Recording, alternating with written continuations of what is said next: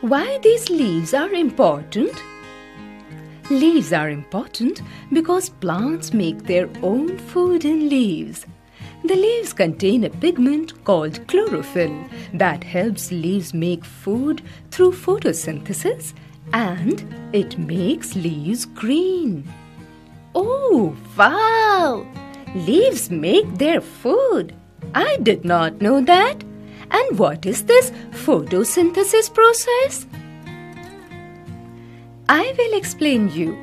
With energy from the sun, water and nutrients from the soil, carbon dioxide from the air, and the help of chlorophyll, a leaf produces food consisting of sugars and starches, and oxygen is released by the leaves. The process is called photosynthesis. The photosynthesis process is as follows. Sunlight is absorbed by chlorophyll in a leaf. Carbon dioxide is taken in from the air. Water is transported from the roots.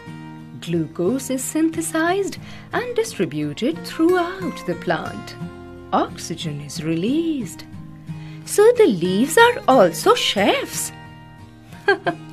yes, you are very right.